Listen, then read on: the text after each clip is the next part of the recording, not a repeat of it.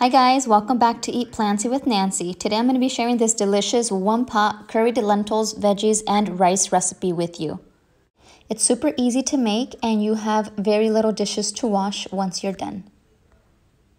For this recipe, I will be using potatoes, sweet potatoes, zucchini and squash, some carrots,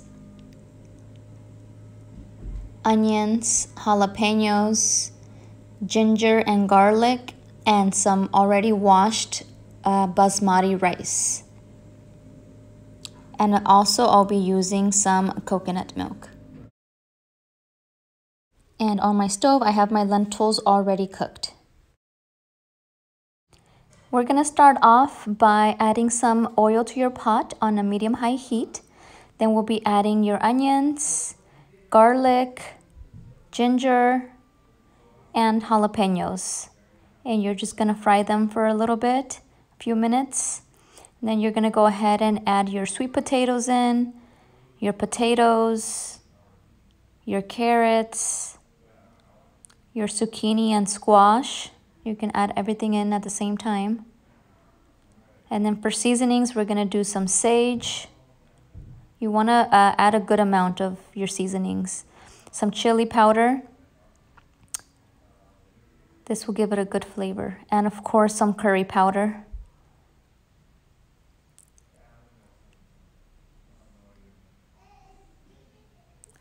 I'm very generous with the curry. Then a couple of pinches of cumin. And then just a little bit of uh, some black pepper. And also we're gonna be adding some salt. Once you've added all of your seasonings, make sure that you mix everything well. Now that my veggies have been frying for about 5 minutes, I'm going to be adding my basmati rice into the pot. Make sure that you mix in uh, your rice really well with all of your veggies.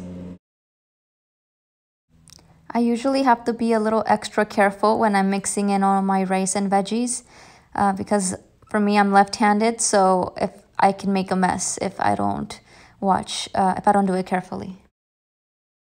Now I'm going to add a can of coconut milk and then I'll be mixing it in gently. Now I'm going to be adding two cups of lentils.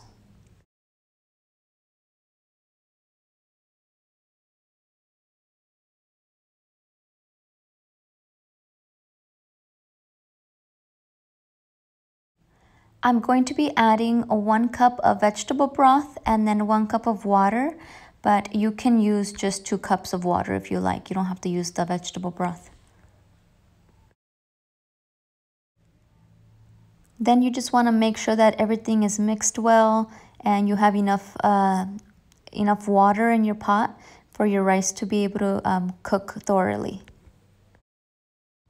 Then you're going to cover and set to a low heat for about 15 to 20 minutes. And there you go guys, your one pot curried lentils, veggies, and rice recipe. Thank you all so much for watching my video. I hope you enjoyed watching it and you try this recipe at home. Please leave a comment if you do. And please also subscribe to my YouTube channel if you haven't already. Thank you so much.